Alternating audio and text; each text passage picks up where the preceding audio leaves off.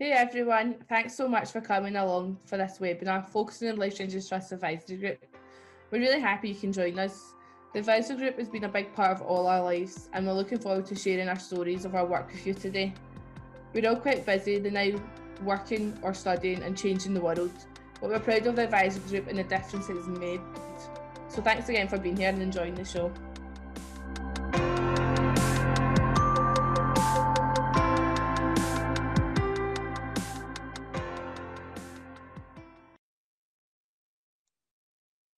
Hi everyone, welcome to this afternoon's webinar.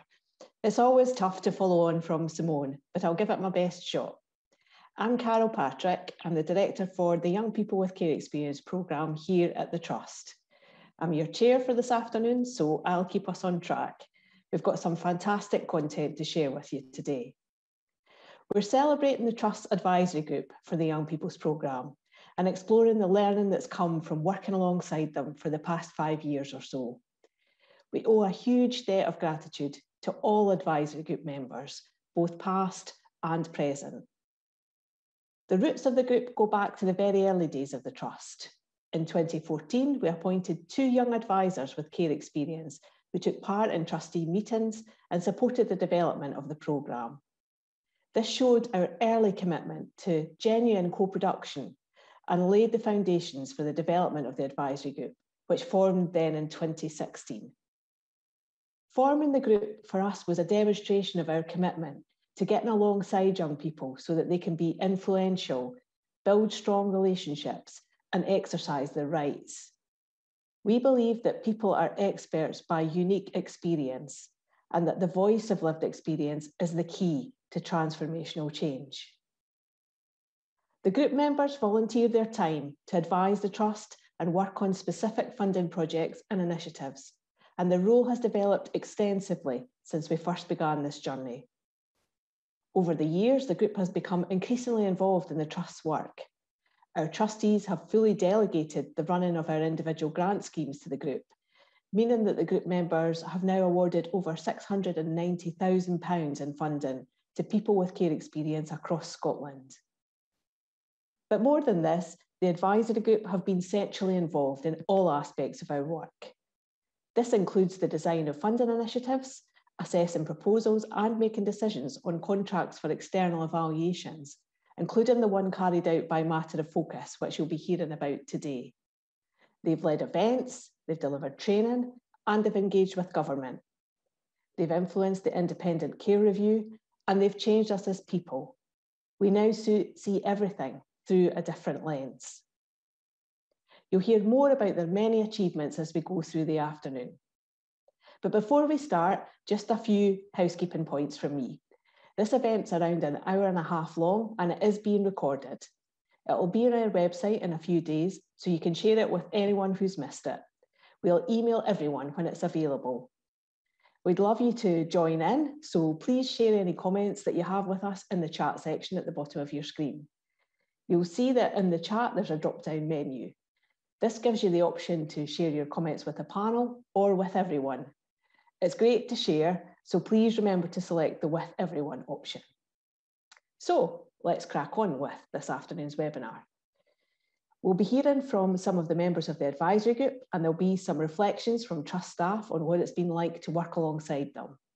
You'll also be hearing from Ian Kenji, who was a recipient of a My Choice, My Future award and we'll be watching the world premiere of Side by Side, a truly brilliant film made by and about the advisory group. Many thanks to Media Co-op for working with our advisors to produce this film. More about that later. First up, we're going to explore some of the impact and learning from the independent evaluation of our advisory group, which was carried out by Matter of Focus. So I'm going to ask Sarah Morton and Helen Berry to join me on the screen. Hi both, it's great to have you with us today. I'll just hand over to you. Thanks, Carol.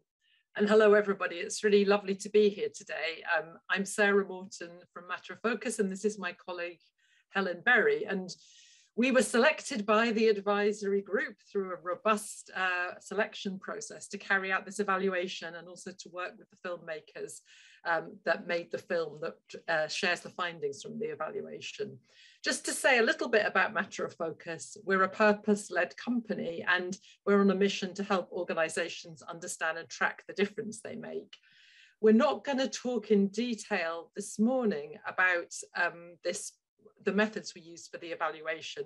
And you'll know that there's a full report, a summary report, and some case studies available from the Life Changes Trust that go into that detail if you're interested in it.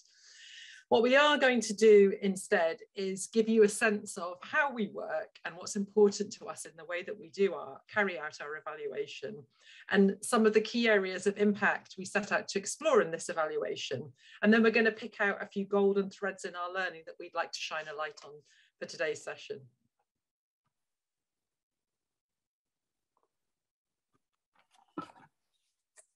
At Matter of Focus, we believe in working side by side with people to kind of to help them set out and understand how their work creates change. Um, and that meant in this case, both with advisors and the staff team at Life Changes Trust. We use the headings that you see on the slide to provide a simple framework for exploring different journeys towards change.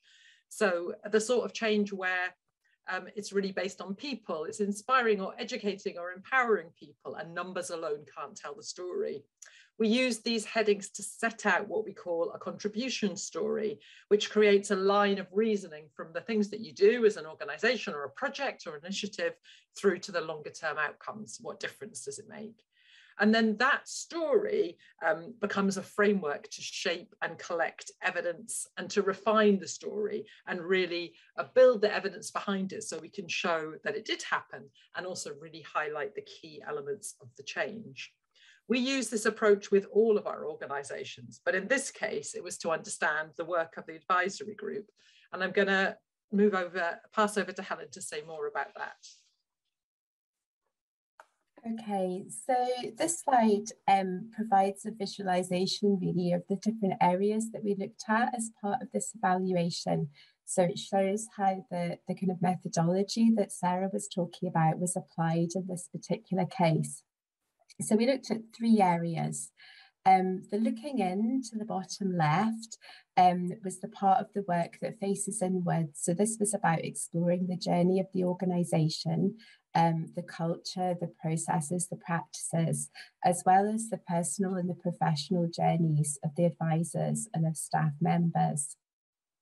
Um, the looking out piece at the bottom right um, was really around um, how the work um, influenced the wider world of young people with care experience. And there were two ch main change mechanisms here. So one was around policy and practice influencing and the other was the co-production of individual grants programs, um, which Carol mentioned earlier. Um, finally, we constructed a further contribution story almost on top of those, if you like, and we called that lifting up. So this was slightly higher level and more abstracted. Um, and we created this with the group, I should say, as well. And it was really a kind of learning piece. So it was bringing together what we had learned about co-production um, through this work in a way that would make it more shareable um, for other people taking forward similar work in other settings. Okay, so this gives you a little bit of an idea of the, the, the phases of this piece of work. So we worked alongside um, people in this work for about 16 months, and we'll say a little bit more later about how we involve people. I think the fact that we had four years work um, to um, uh, reflect uh, back on just really helped um, to, to kind of make the work um, as rich as it was actually. It was really important. What I'd like to do now is to share a few reflections on some of the golden threads that Sarah mentioned. So these are the sort of threads that are woven through the story and help us to understand why things have played out in this particular way. And I'm going to do that by using a small selection of quotations. So we had some beautiful quotations as part of this work, and I think they really, you know, they speak so powerfully. Okay, so first I'm going to talk a little bit about the looking in part of the work, which is where we map the journeys of staff members and advisors separately. Um, and something that was really interesting was that although we mapped these journeys separately, the, the journeys actually mirrored each other to a significant extent. So they showed how people might enter this sort of journey, this co-production, having to work through some initial anxieties and then coming to commit themselves fully as human beings to the process. And similarly, at the end of the journey, feeling part of, of some kind of movement for change, having been quite strongly influenced by this way of working both staff and advisors um, reported the profound impact of the work um, on themselves, both personally and professionally.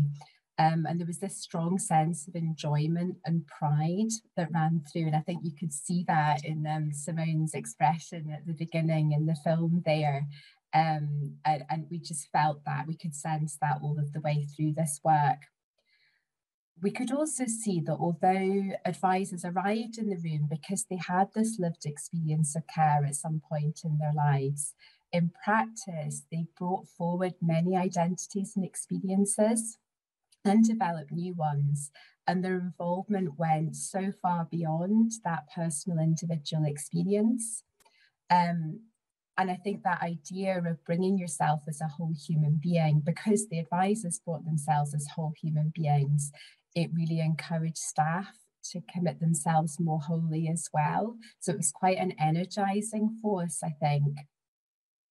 Um, something I think what the, the, the, quote on the slide is really getting to is, is this kind of power of um, not starting with the individual personal experience as something that was a, a real kind of jewel in the work was that it, it was forward looking. It was about it started out with what people could contribute and where they wanted to go as a group, um, rather than asking people to tell their story, um, which obviously happens so often um, in, in this field in particular, I think, but it really was this forward-looking agenda.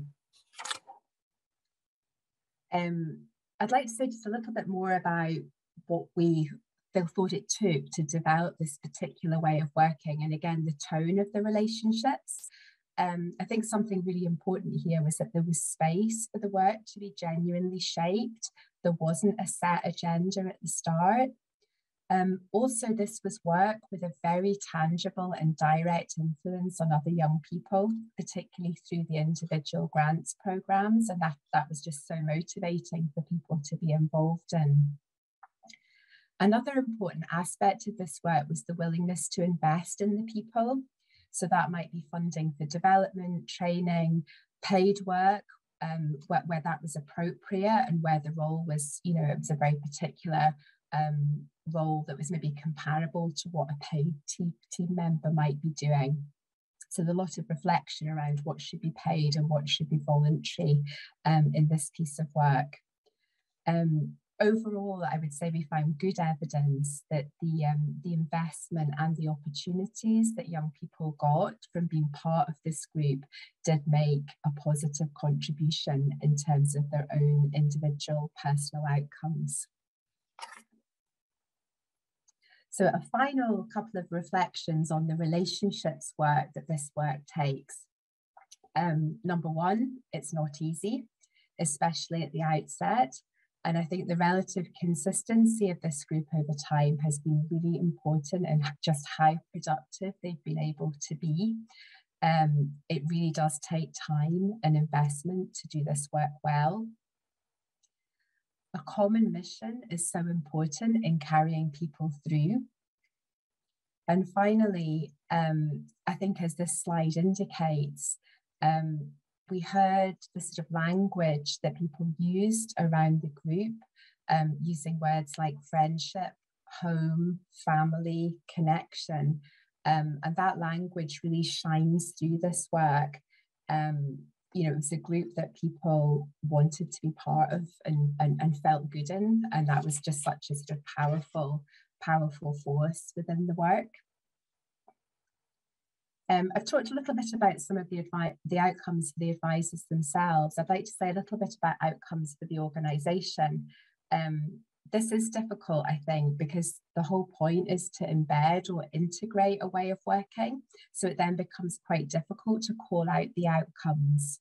However, qualitatively, we noted people consistently using language like integrated, enriching, grounding, the idea of a wider conversation, more creativity, more energy, a greater focus on what matters.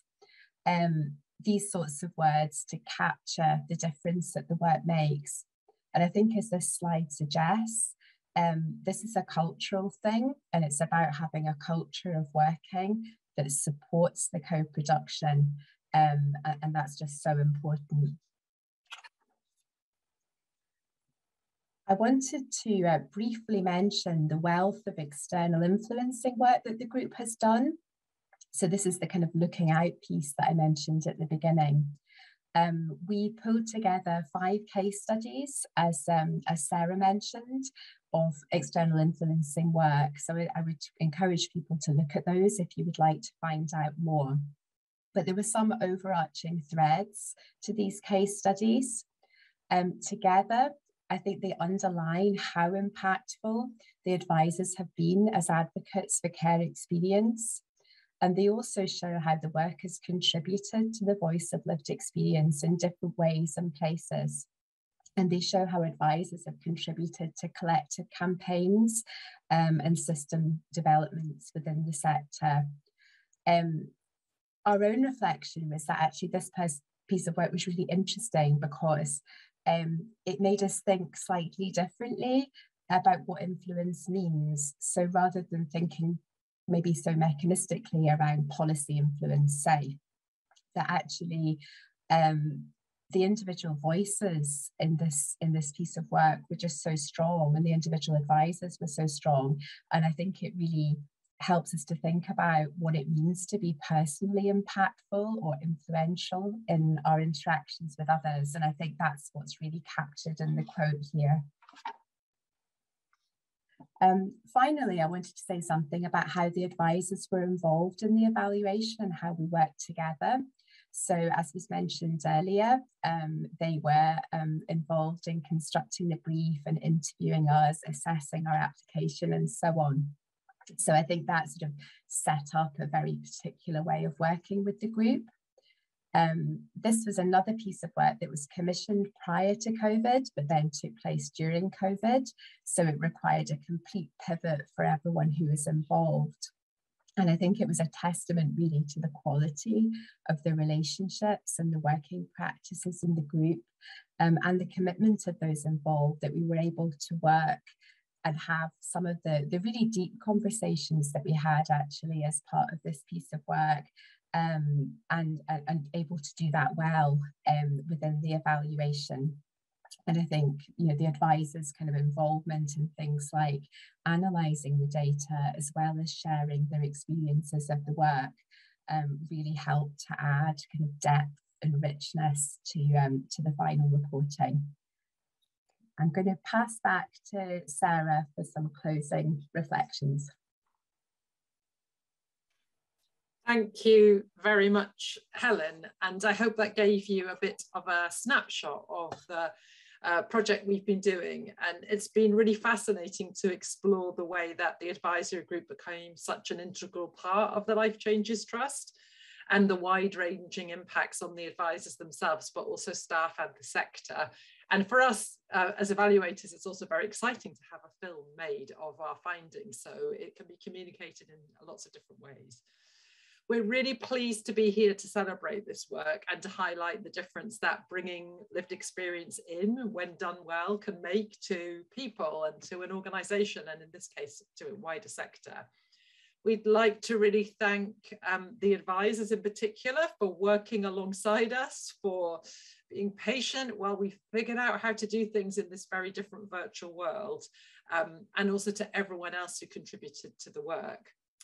And so I'm going to hand back to Carol now. Thank you. Big thanks to, uh, to Sarah and Helen there for their input.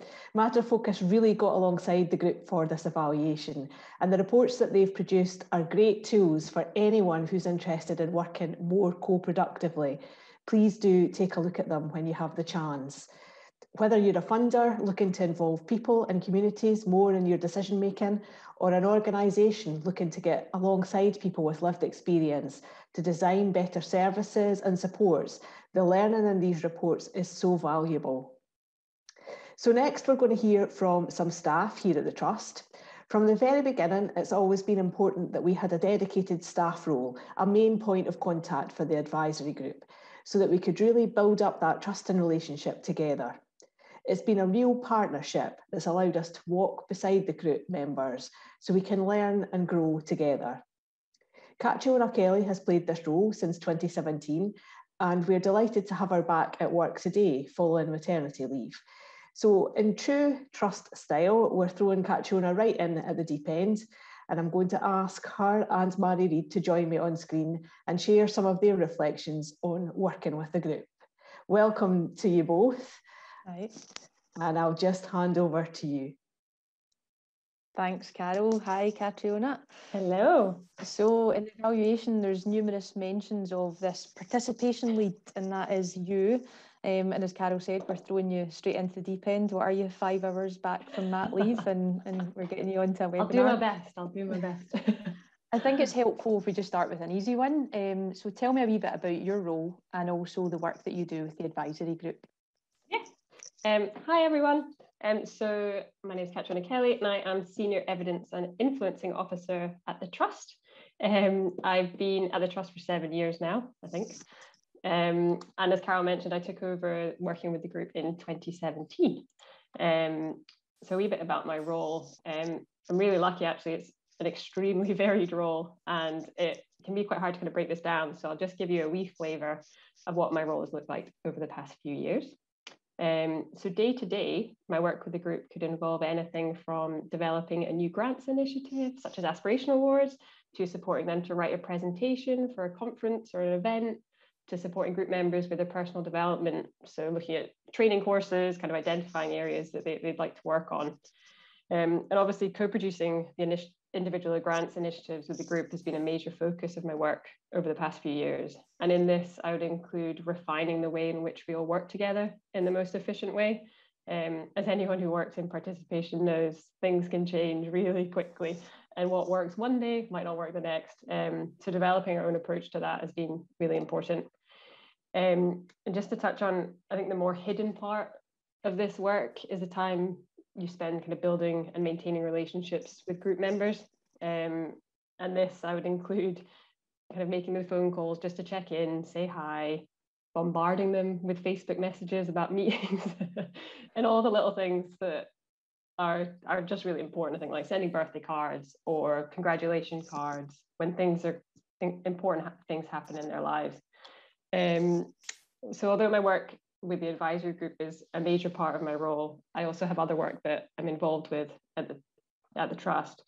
So I'd say that over the kind of the four years that I've been doing this work, that the time I've spent focused on the group fluctuates anywhere between 75% and 25% of my time. Um, and kind of reflecting back on that, I think this is it it changes depending on what stage the group is at such as our new members joining, our people leaving, what work we have on, and whether we're in the middle of developing something new, because obviously that's going to be more intensive, and what support I can provide based on the needs of the group, but also kind of balancing the other work that I have.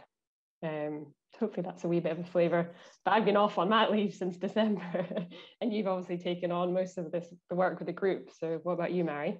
yeah, so I guess my choice my future we were probably at that point when you left and they were looking yeah. at um, inclusion and how to kind of widen that. So there was quite a bit of work done on that you know with people like um, lindsay and emma at the trust but also with some partners like in control scotland and aberlour and Staf. So they, they did reach out to some new people for that grants initiative which was great.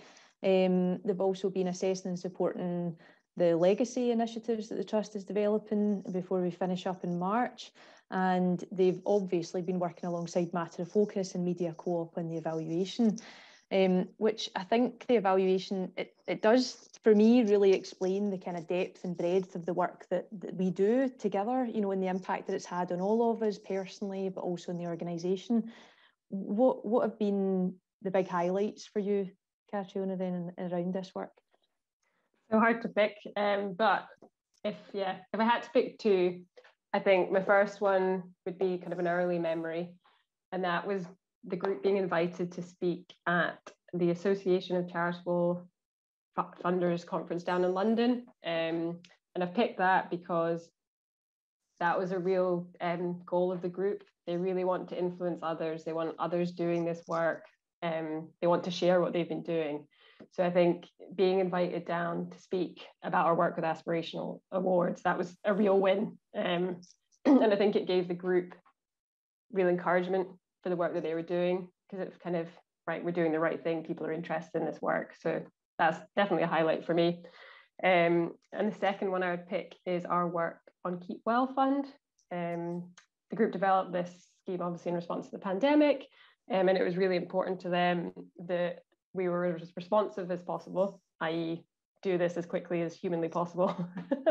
and also that we stuck to our values of trusting young people.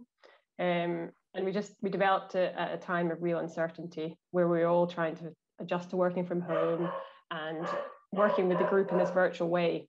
Um, so it was a lot to do, but I was so proud of the group. It was bringing together all of the learning that we'd got from aspirational awards, from all the work we'd done together, and it just felt like a really strong moment of the group and working in this way can make such a big difference that's cool I like that adjusting to working from home and Sky comes in right on cue in the Sorry.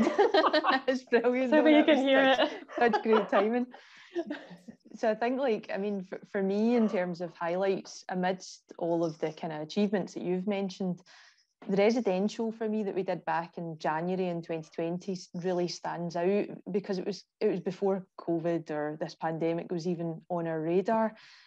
And when I look back on it now, you know, I'm so grateful for that time because I think all that sort of hard work that we did together was great. You know, they made decisions, as Sarah said, they interviewed all the evaluators, the potential evaluators, and picked one um, they did decision making in the final round of aspirational awards. Um, they yeah. did work planning, but also we just kind of cooked dinner together and you know sat on the couch, put our slippers on, got fire on. You know, I got to know them. I'd, I had not had that chance to spend that time with yeah. them yet. And, and now when I look back on it, I realise that I wouldn't have been able to do the work that I've done with them since you've gone off on mat leave had I not had those relationships built at that point in time. So it, it really does stand out um, because you, you kind of need to have spent that time with them to then be able to just pick up the phone and also to do really tough work on, on Zoom together. So I mean, co-production is not it's not easy, is it? I mean, it's it's it's so rewarding, but it's not easy. We have to be honest about that. So let's reflect a wee bit on that. Some of those challenges. Have you found aspects of the work to be challenging? You know, are there some difficult aspects that you would pick out? Yeah, um, I think firstly, just to agree with you, that it's the most rewarding and fulfilling role you could have. Like, I absolutely love it. Um, and I feel so privileged that they let me into their group because it's very much their their space. Um, but yeah, there are challenges, and I think, for example, just in terms of the participation work, it can be lonely if there's there's just the one of you. So I think we realized quite early on that if one person was leading this work, that they would need some dedicated support to do it to do it well.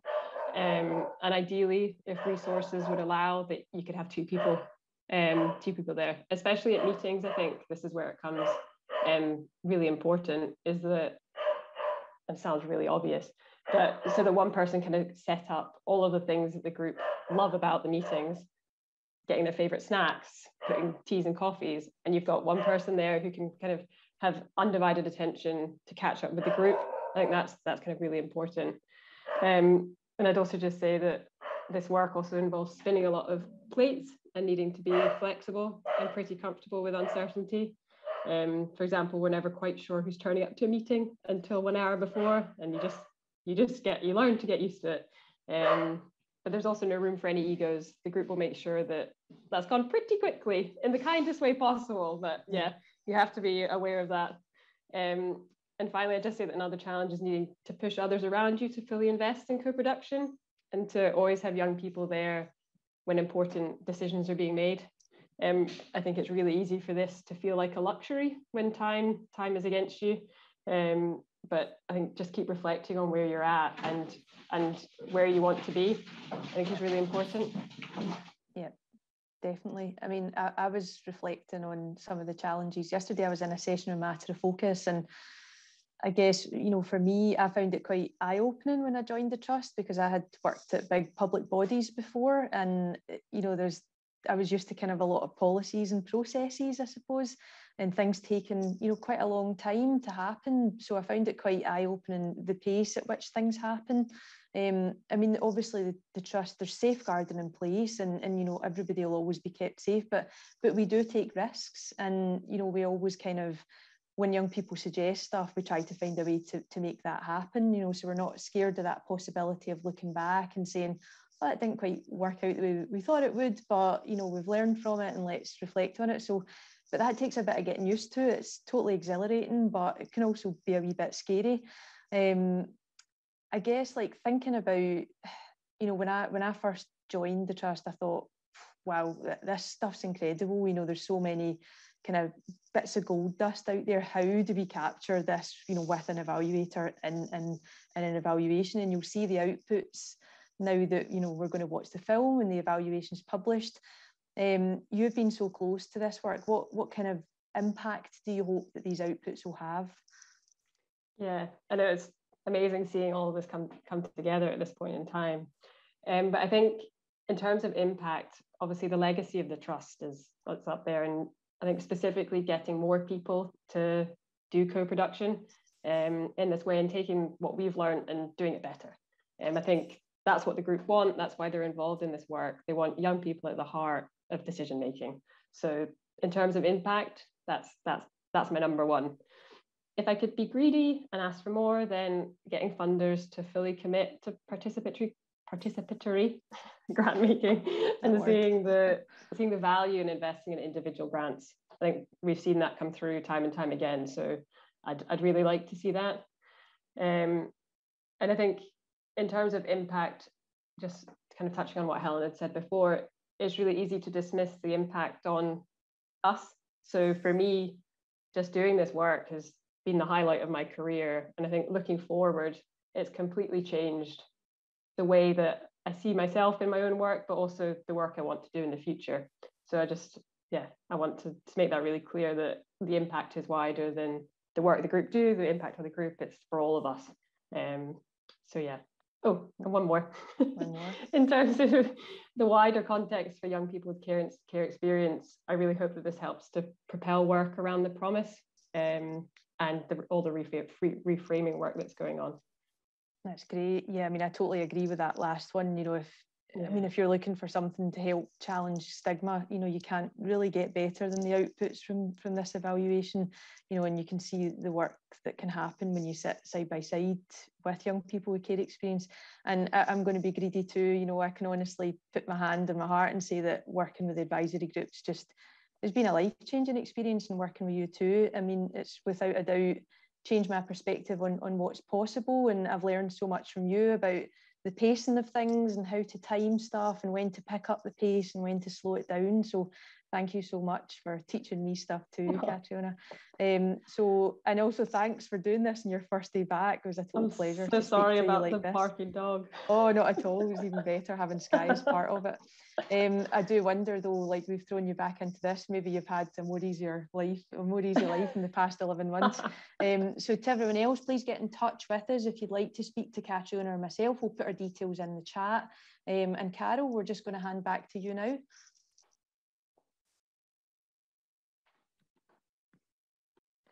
Big thanks to Catriona and Mari, and a special shout out to Sky the dog, who was making our presence felt there. I think you'll have picked up from that chat that the personal and professional growth that comes from working in this way is huge for everyone concerned. You don't necessarily need specific qualifications, it's more about having an open mind and a willing heart. And this will be key to realising the promise for children, young people, and families in Scotland in the years ahead. Okay, so we're now at the moment that we've all been waiting for. I hope everyone has some popcorn at the ready. it's time for the world premiere of Side by Side. This film features a number of our advisory group members talking about their experiences, the impact that being part of the group has had on them, and how it has influenced the wider landscape of policy and practice around care experience in Scotland.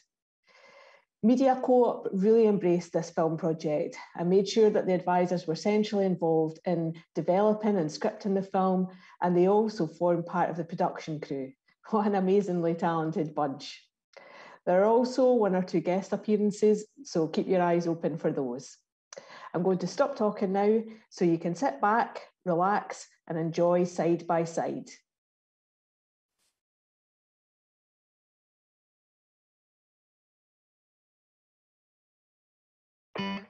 How do young people get the power to drive decisions that affect us? This is what we do at the Life Changes Trust.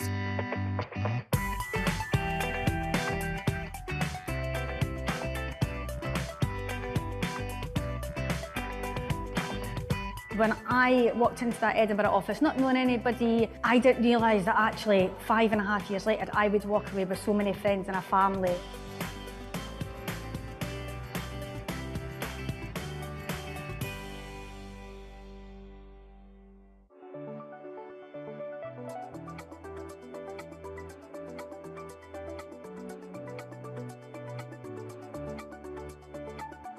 How did the Life Changes Trust Advisory Group come about? Our remit is to create transformational change for young people with care experience. So we were really keen to have an advisory group of people who had their own lived experience of the care system, who would work alongside us and really influence us, advise us on our work. Originally, we only got given one initiative, Aspiration Awards, which then kind of snowballed into all different initiatives, and then they kind of had the faith in us and trust in us to take control of and create new initiatives. Between the trust and the advisory group, who has power and makes decisions? Me.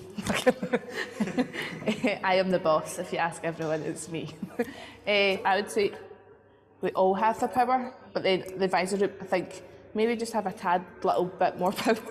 power. We really are embedded at the start of everything. The idea, the planning, you know, the risk management, the taking it to committee, us then saying, right, what does that look like? How do we want to distribute it? Timelines, evaluation. We haven't been parachuted at the end for that photo, for that bit of promo to say, this is the advisory group. Actually, we have genuinely been through the good, the bad, the ugly. What do you get from being part of the group? I used to say I was always bossy, but now I've learned it's leadership skills. I've got good leadership skills. Trust have put me through my housing qualification. It's not just take, take, take. Do you know how much they embrace us and they want us to do well? I know personally I've come a long way. I've done so many different things that I just wouldn't have. We went to Edinburgh to speak at the Parliament and we were in front of like all these posh people. And I, at first I felt a bit like, oh God, like I didn't think we were like professional enough to maybe go and speak at Parliament because I always thought that was like very high end, well paid people. Like to me that was like, whoa, we've made it. Do I get a blue tick on Twitter yet?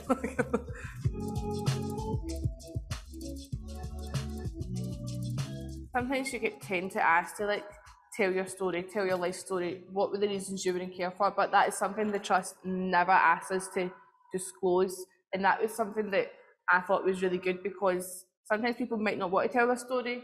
And like I've always said, like being care experience doesn't define me who I am. That was just part of the journey I had to overcome to become who I am. When I was younger, participation wasn't there, and I just don't know if there was a space or the mechanisms for children, young people's voice to be truly kind of listened, heard, understood, acted upon, and kind of implemented. I think our group has allowed kind of little Lydia to have that voice. And I think kind of within our group, little Lydia has kind of been able to have her voice heard.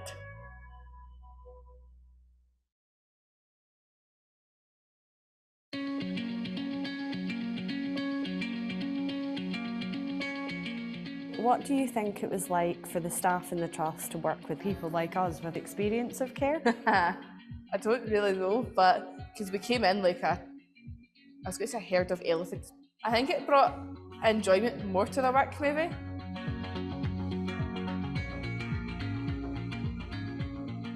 Having the advisors has helped us to do our work better. You bring you know, an experience, a perspective, a knowledge that as staff members we just can't have. Really early on it became clear that we weren't going to be setting the agenda. You all came in, you had your own ideas about what you wanted to do. You challenged us, we challenged you. You know, you started to influence us across all of our ways of working. Tell us what the most surprising thing has been about working with the group the amount of work that you guys get through. It was literally kind of nine o'clock. We're starting to design this. By 11 o'clock, we'll be on to the criteria. By 12 o'clock, we'll be doing the application form. You know, you're blitzing in a day and a half work that maybe as members of staff, we might take a couple of months to do. Um, can you tell us a little bit about some of the challenges um, about making this work? I think there needs to be a level of trust.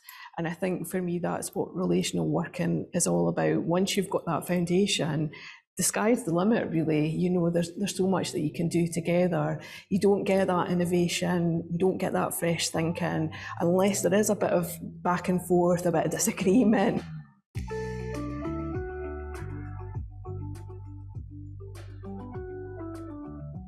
What impact do you think us as advisors had on the, the Life Changes Trust? From the outside looking in, what I'd say is there's a different different tone around Life Changes Trust. Over the time, some of the fund's practice has probably become more deliberately inclusive, you know, using its platform to make sure that the people it works with are, are well heard. Do you think it's hard for staff to sort of give up that power? I think sometimes it's hard. I think some folk do like having power, but I also think um, some folk would give it away, but they don't know how. What was it like when we were wrestling you for power? Of course, it's hard to give up power. It's not sort of usual practice within the funding world. We believe that you do make better decisions when you involve the people that you're working with. What difference did we make We've had a couple of staff that have never had the opportunity to work directly with people in the way that we do at the Trust, and they've described that as being life changing for them. This is going to sound cheesy, but I'll say it anyway. I feel like I'm a better person for doing this, this work. I really do.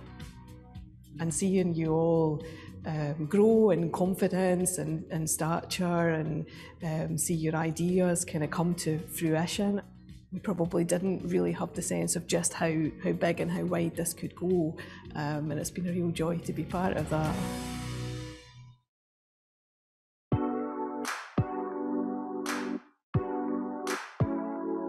Can you tell me what aspirational awards are? Individual grants for young people with care experience aged between 18 to 25 for an aspiration that would help them in the future. From want to open up their own business to want to go and travel the world, to want to go and do volunteer opportunities. We were in charge of everything, like from the name, from how much we would allocate per award to writing the application. I remember the blood, sweat, slog and tears, residential months of agony going, why are we here? What do we want to do? It's really good that being able to be trusted with like over two hundred thousand pounds from the trust because being in care you tend to always get stigmatised. But being able to be given two hundred thousand pounds to kind of control and to determine who's getting what and how it's getting allocated was like just really strong and powerful for myself because I think if I thought ten years ago, no way would anyone trust me with over like two hundred thousand pounds.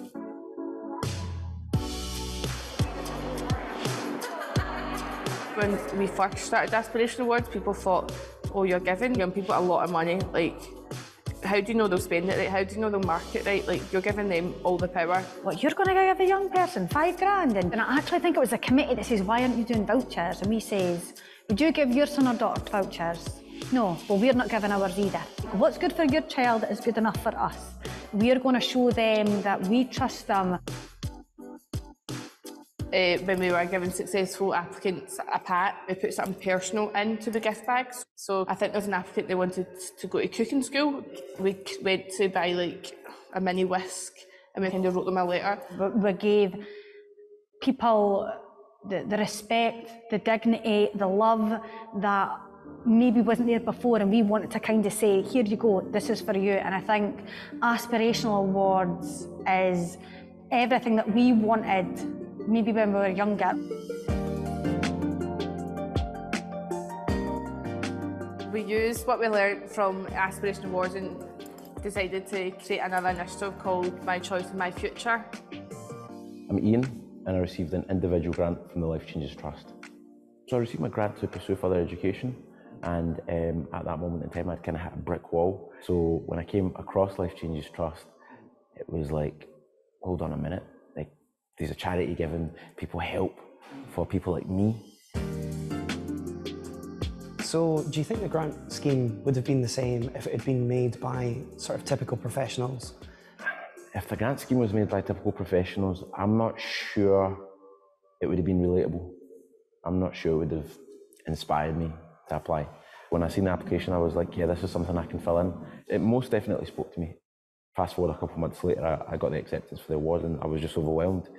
This is the first time in my life that I've had a chance like this. Do you think that people really understand what care experienced young people are capable of? No. We can achieve amazing things, we can do amazing things, and a lot of care experienced people are, they have raw talent, and sometimes that talent isn't harnessed that's the amazing thing about something positive like this. When someone gives you a chance, it's, it's so important and it, it gives you that confidence.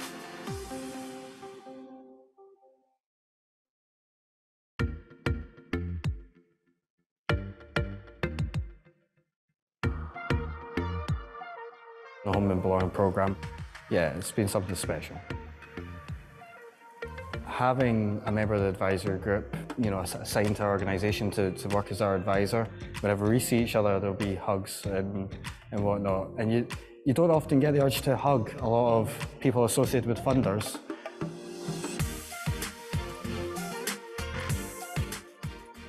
What was the Home and Belonging initiative? So Home and Belonging was one of our funding initiatives. It was a £4 million initiative, so it's quite a large one, about trying to discover that sense of home and belonging for young people who are ready to move on from care. Professionals and young people could apply to turn projects in potentially support accommodations environments more into a home environment, a safe environment for the young people that they can go to as their safe space. Right the way through, we worked with the advisory group to design the initiative, to get applications in, and to make final decisions. And the two-day event was, was about that.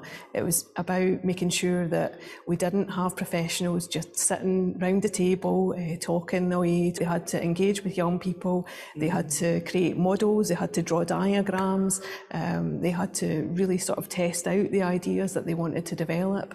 What do you think the professionals got out of it, sort of from having our support and advice and perspective? So we were in the prototyping exercise and they were speaking about this is the kitchen and this is the this is the staff room. And I says, um, why why why does it need to be a staff room? And why can't we call that the chillax room? That's yours that's where you guys go to sleep, but that's also a space in a children's house that they can go and chill out. Do you think your staff room it makes somebody feel like it's their home and they belong. He's going to go away and think that it's my work, but it is their home. And that's what we want to happen.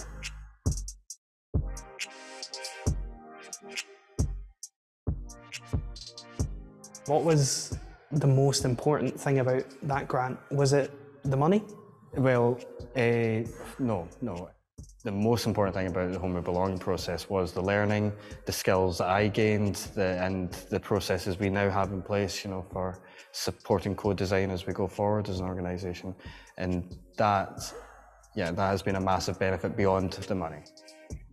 The facilitation, the training, the tools we got was what made the difference.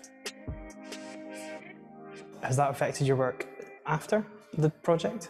Uh, I'm actually very pleased to say it has. As an organisation, we'll often design programs as, prof- as professionals. We would often find that in the first few months or within the first year that certain elements of that were not working. But on this occasion, we were confident from the start that this is what care experience people would need because they've told us and they, they've designed this. So whenever we're looking at new projects or even developing part of an existing project, it's where's the co-design seeing advisors really taking their place and leading a lot of the activity that was happening. For us as staff, I think that felt quite a special moment. We thought, yes, this is what we've been working to.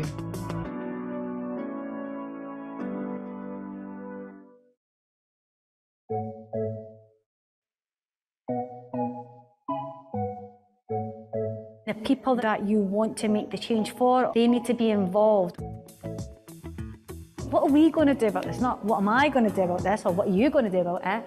It's what are we going to do?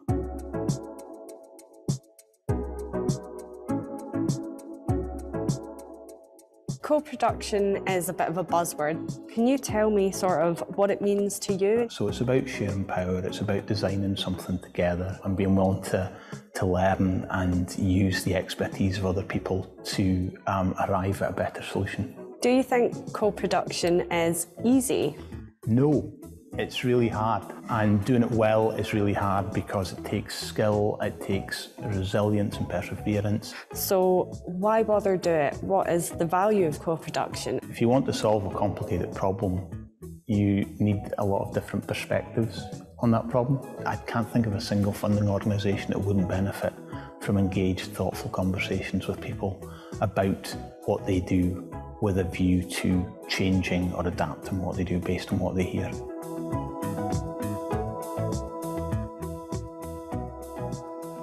Would you say co-production is easy?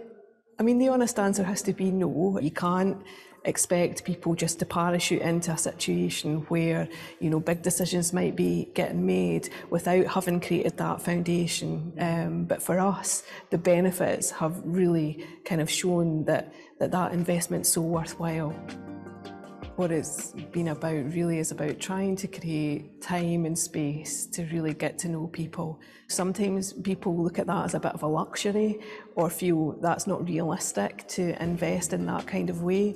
Um, but actually, I would flip that round a little bit and say, well, what's the consequences if you don't do that? You're going to miss out enormously and what is possible.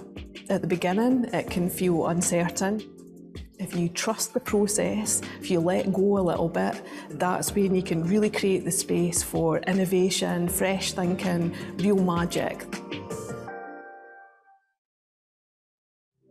If we have shown anything is co-production works, but that recipe, it needs to kind of have everything in it. It needs to have autonomy and it needs to have mutual respect. If any other organisation was looking into co-production, what advice and hot tips would you give them? I'd say do it. Do it today. Take every chance you can to hear from the people you seek to support and work with. You can't be too scared to fail. And, you know, having that honesty of this worked but that didn't, if you don't succeed first time, that doesn't mean that you just give up. If we can do it, actually, lots of people can do it.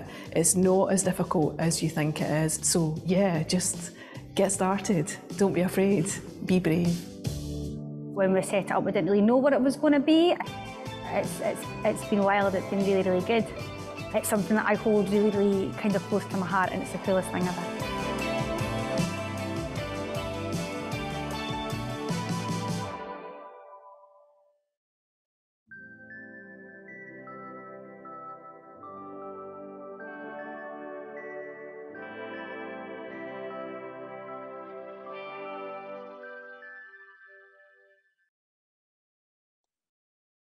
Hope you enjoyed the film. It was always going to be a challenge to capture the essence of the group and explain the impact of working in this way with lived experience guiding us. But I think the film gives a great sense of the journey that we've all been on together. Thanks again to Matter of Focus and Media Co-op for all of their work on this. When we commissioned the evaluation of the group, we had no idea a pandemic was on the horizon. Many times we wondered if it would actually be possible to make the film. So it's absolutely brilliant to be sharing it with you all today. It's time now for a short break, which will be for 10 minutes. So plenty of time to grab a coffee and stretch your legs. When we come back, we'll be hearing from Ian Kenji, who was a recipient of a My Choice, My Future award, another initiative developed by the group, as you heard on the film. The group also has some top tips for anyone thinking of implementing co-production in their own organisation, and we can highly recommend that. Next up, we're going to meet Ian Kenji, who'll be chatting to Mari, who you met earlier. Ian was a recipient of a My Choice, My Future award. As you heard earlier on, My Choice, My Future was the final individual grant scheme developed by our advisors, and it drew on all the learning really from the previous schemes.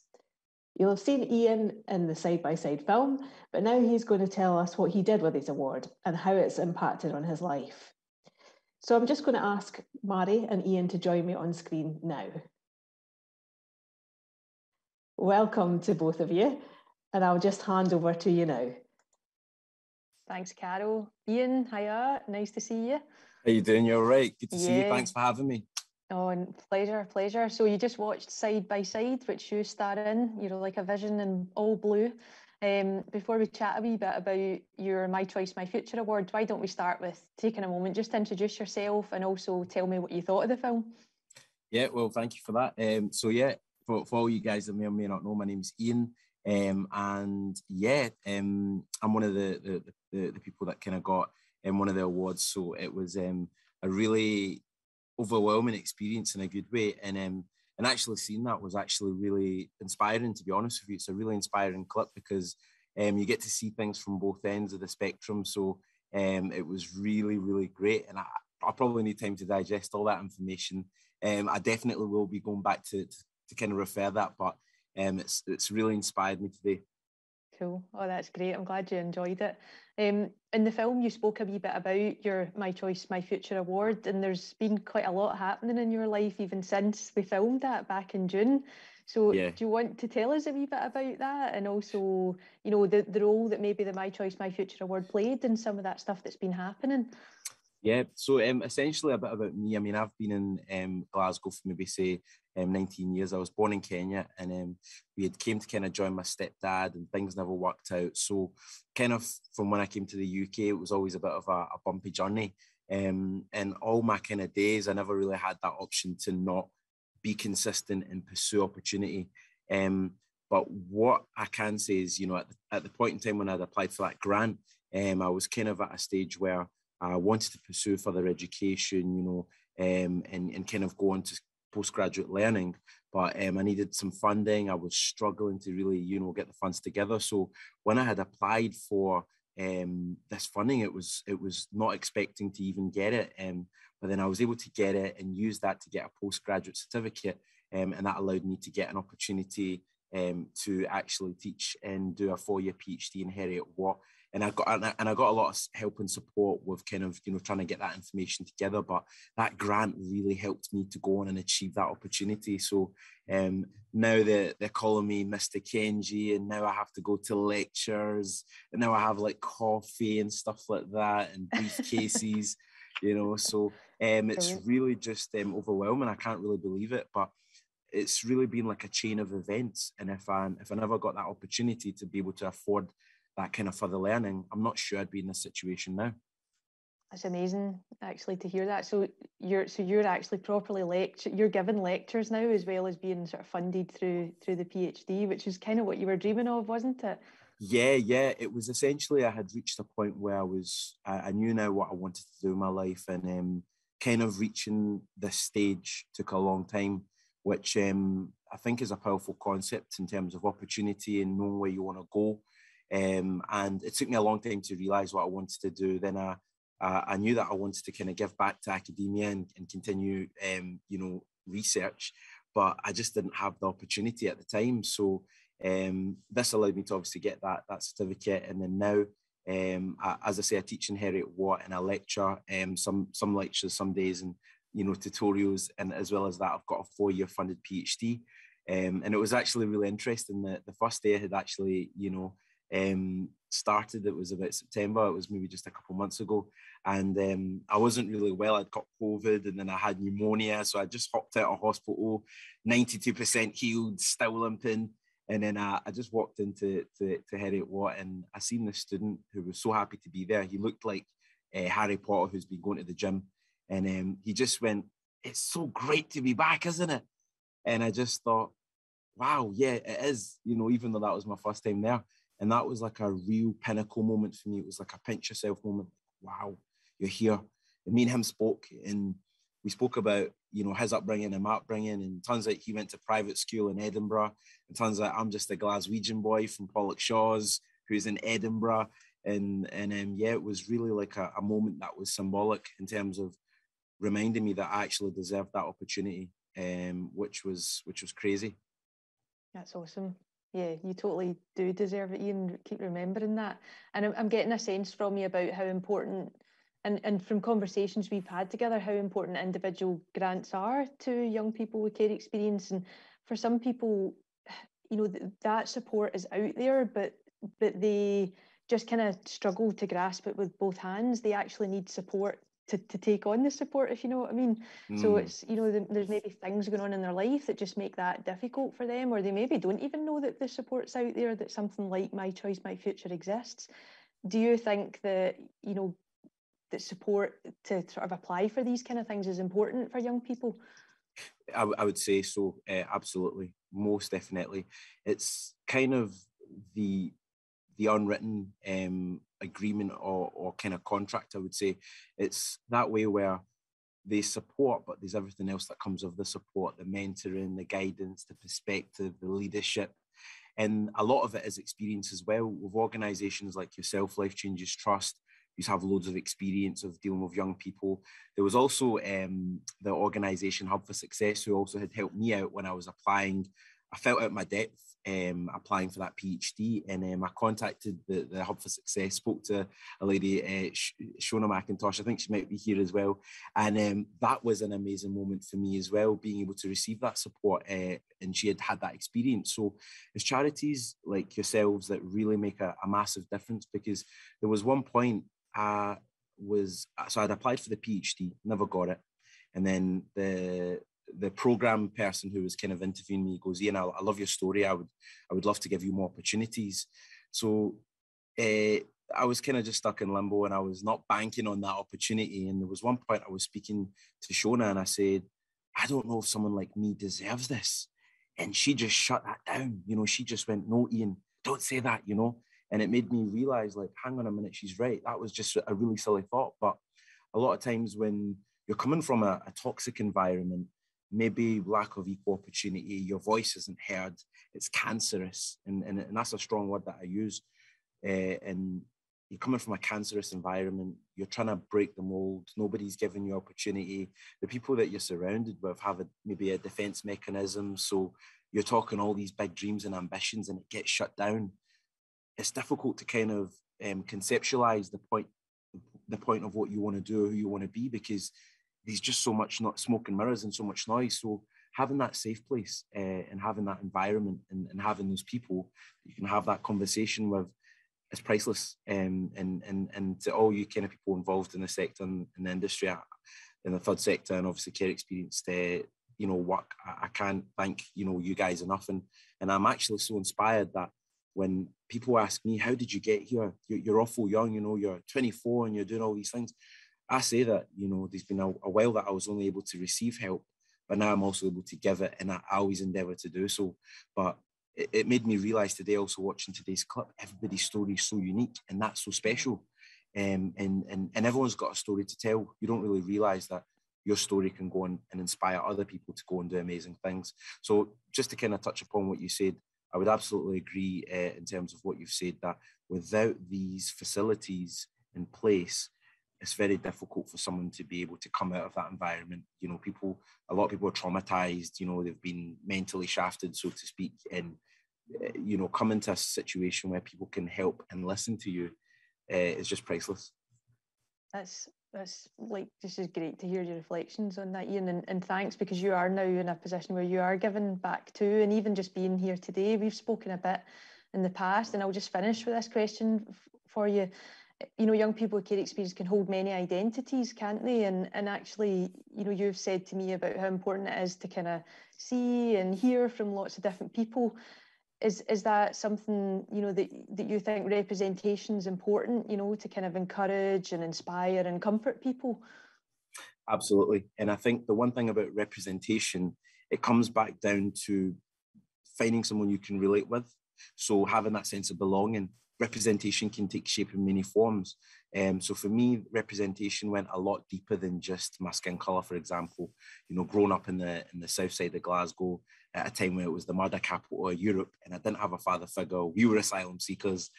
And then it was like, I didn't really see any black male leader that I could mentor. So I had to create my own identity. I was like, people would say, Where are you from? I was like, I'm Blackwegian, you know, because I was like, if nobody's creating an identity, if, if, if there's no one I can resonate with, I'll be my own person.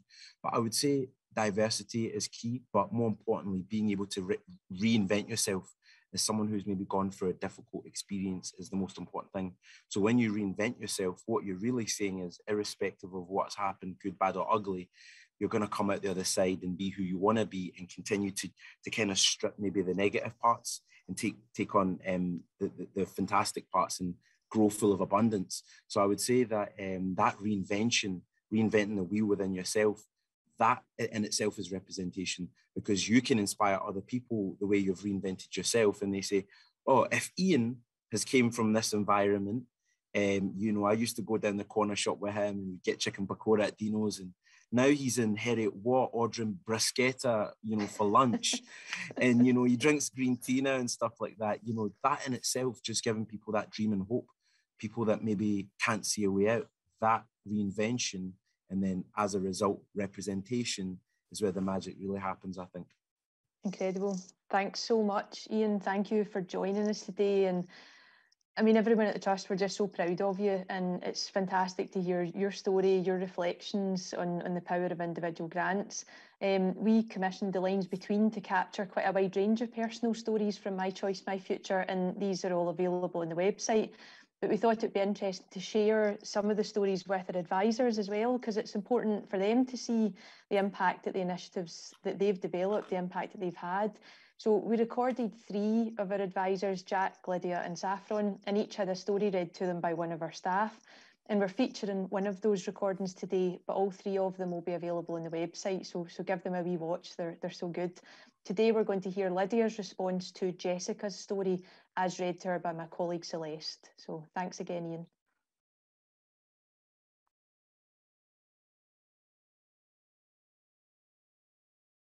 Hi, my name is Lydia Banks. I am a member of the Life Changes Trust Advisory Group.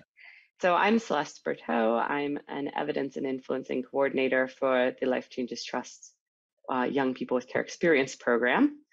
And Today, I'm going to tell you, Lydia, I'm going to tell you uh, a story of one of our My Choice, My Future awardees. And I'm going to tell you Jessica's story. Now, Jessica used her My Choice, My Future award to pay for beauty therapy training courses and hair and nail supplies to start her own beauty business. And this is not her entire story, uh, which you'll be able to see kind of we have an accompanying report, but these are kind of excerpts of her story in her own words. I'm 20 years old. I live in Glasgow and I'm an admin assistant at the moment. In my spare time, I like to do nails. I like to do hair. I just really, the whole beauty scene is for me. To me, beauty has always been something that everybody partakes in and can cheer anyone up. I love seeing people be their true selves and love their own image. And I like to be the one to help to do that because it makes you feel a bit powerful, like a magician. So that's what I really love about beauty.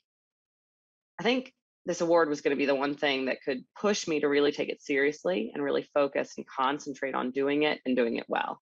I think that pushed me to want to apply because it felt like another level up, step closer to something bigger than what I was doing already.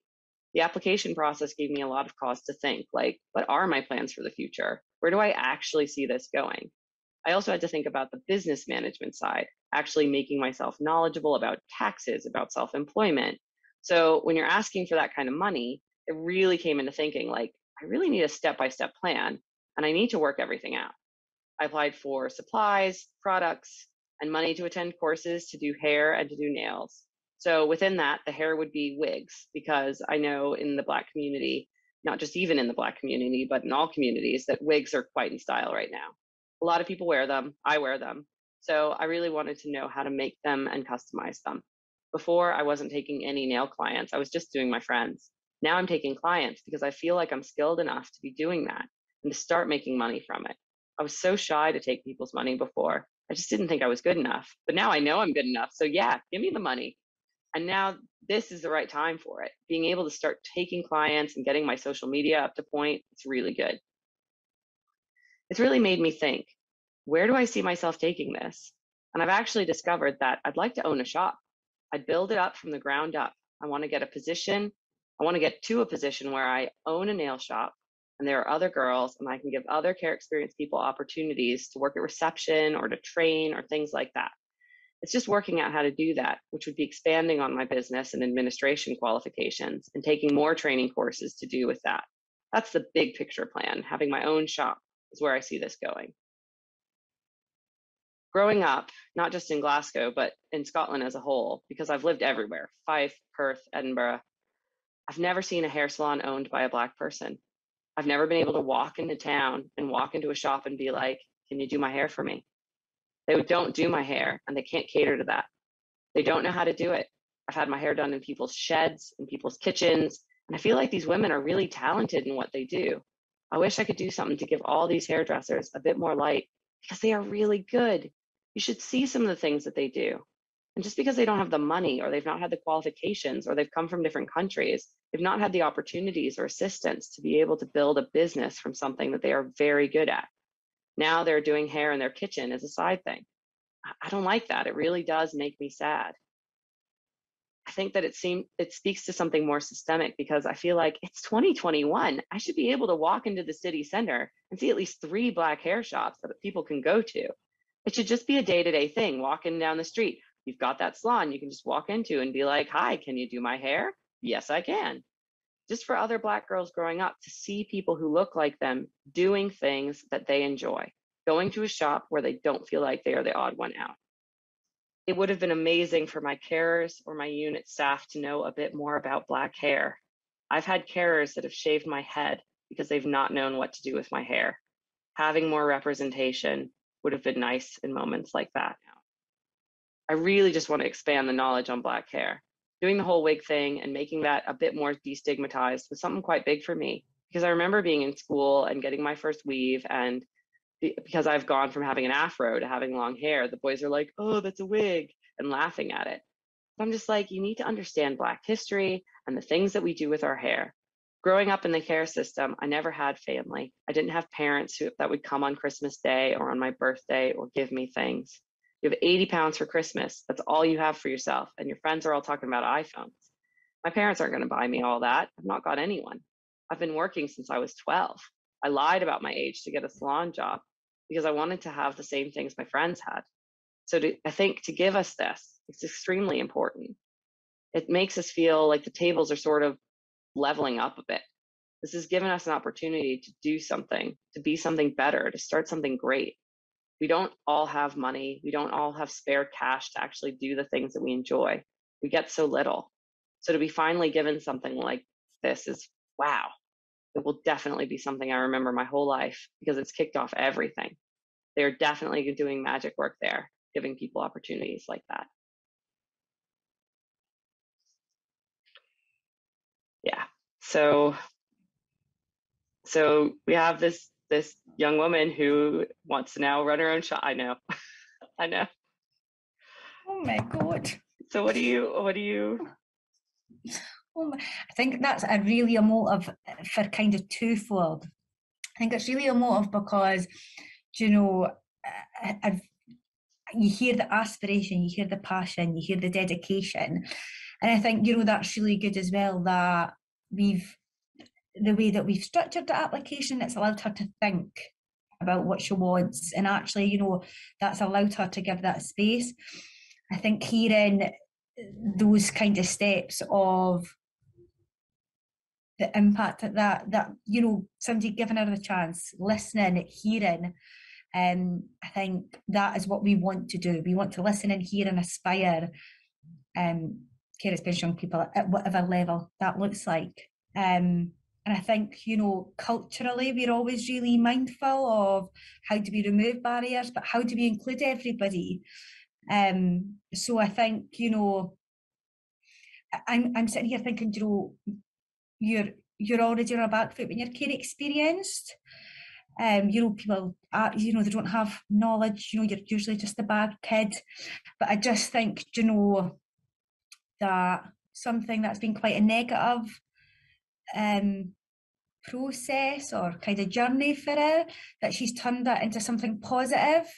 And i think that's really really strong in regards to actually how do we as organizations and services not just inform ourselves of you know care experience young people and you know what they need but i think it's that cultural and actually being given respect and dignity in all ways and actually people being person centered and caring i think that's really really a motive um you know and not i think that's a great you know i should be able to walk into the city. Of course we should. We should be able to do that. And it, you know i think that's that's such a an amazing pioneer for a culture you know um and the the confidence and you know I, I can't wait to see our shops. Um i think it's amazing to know that we are helping people not just change themselves but their their lives and actually the country and the community in which we live in and actually being able to be a platform for getting that message out because for us as a group we didn't know that. Um so yeah i think that's really really powerful. Very emotive very emotive. But thank you. Thank you for sharing that. It was amazing to hear. It really really was. But yeah I look forward to your three shops or if you ever come to dundee The My Choice, My Future personal stories are so impactful. I really hope you'll take the time to check them out. They demonstrate that the benefits of individual grants go far beyond the practical benefits of having a personal budget. And Ian talked very powerfully about that. It's the wider impacts on confidence, self belief, inclusion, and aspiration that are enormous. Many thanks to Lydia and, and Celeste for that recording. So we're nearly at the end of the webinar today, but before we go, the advisory group wanted to share some top tips for co-production based on their own experiences. They talked through their eight top tips and gave some very sound practical advice about how to co-produce authentically and impactfully. The full film of this will be on our website soon, but we thought we'd give you a wee taster. So here are our top tips.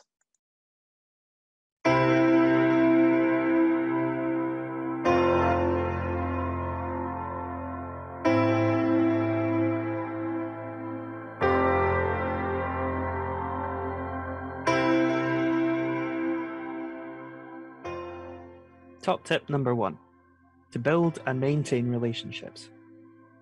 If you actually have good relationships, your outcomes are noticeably better.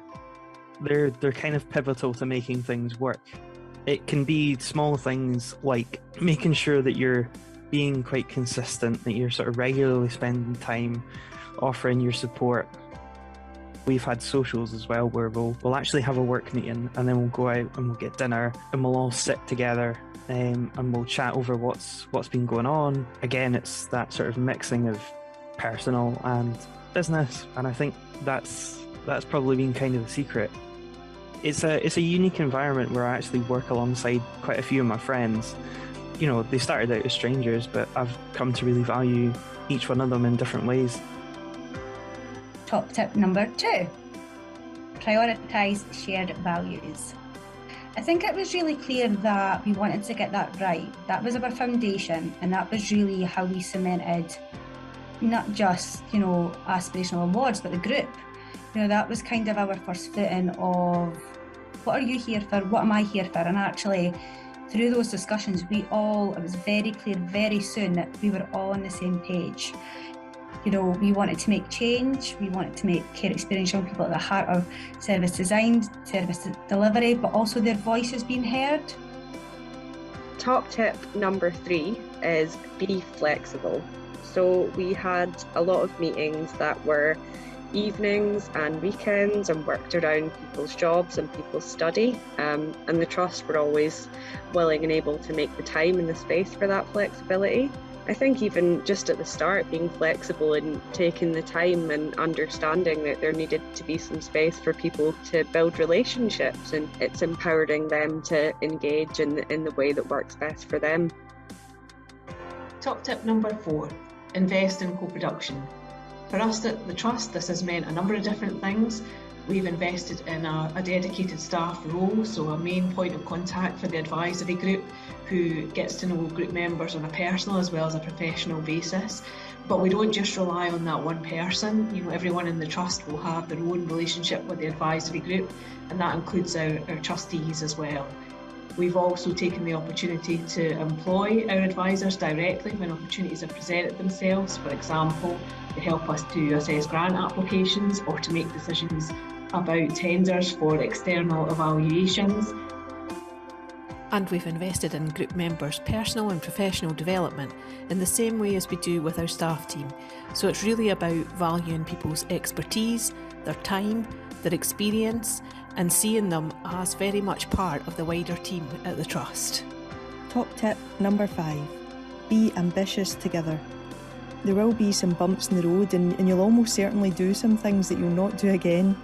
But those tricky moments will be far outweighed by the things that you'll be proud of and amazed by. The group have assessed hundreds of applications, and as a result of their decision making, more than £600,000 has been awarded directly to young people with care experience. I mean, that's incredible. Our confidence and our ambition has grown with each project and task that advisors have completed. To use their words, we just know that they'll smash it every time. Top tip number six share power.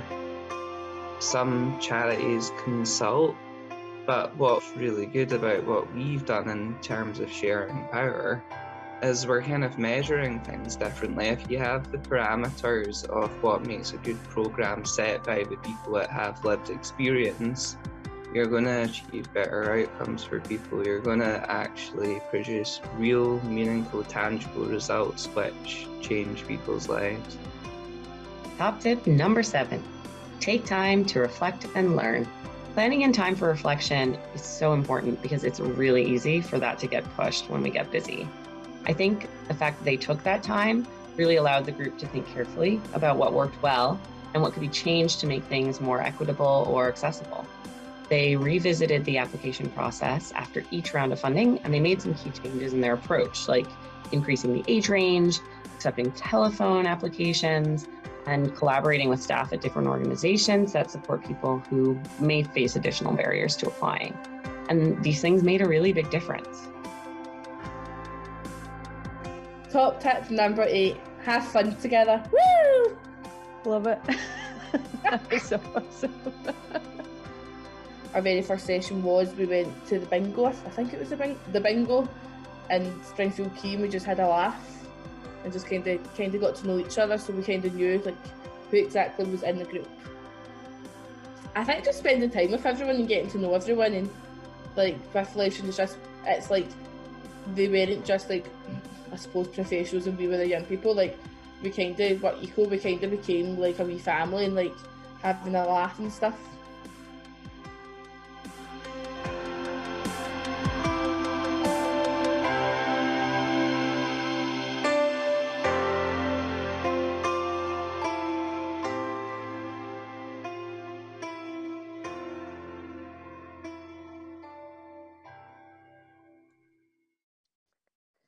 So we're now at the end of today's webinar. It's been brilliant and a little bit emotional to chair this event because it's such a milestone for us at the Trust. And we've been blown away as always by the work, the commitment, the energy, enthusiasm and sheer brilliance of the advisory group. We're very grateful to each and every one of you, past and present. It's been an incredible experience to have you all as part of the Trust team. As the Trust moves into its final months, it's important to say that this is the end of the chapter, but not of the story. The Trust experience has shown that it's possible to invest in relational working, putting lived experience at the heart of your organisation, and the advisory group have been a, sport, a source of inspiration for many. Interest in working in this way, whether you call it co-production, co-design or led by lived experience is growing. And the advisory group would like to encourage everyone here today to go away and think about actions that you can take to bring lived experience into your work. If you're already doing it, think about how you capture your learning and share it with others. For funders, the reality is that engaging with people and communities deeply leads to better decisions. The funding community could do better on co-production. We need to move from interest to action. The Trust resources will be available for everyone who has an open mind and a willing heart to embrace that action. The advisors are currently supporting legacy work funded by the Trust, our Young Funders projects, for example, sharing their knowledge of developing individual grants programmes with people with lived experience. They've also inspired other legacy developments, such as the National Leadership Network.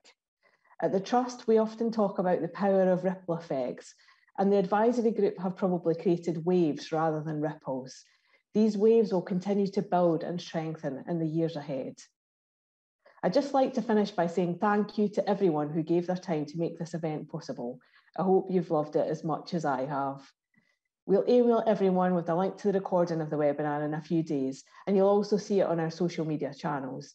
Please do share it with your colleagues and your friends.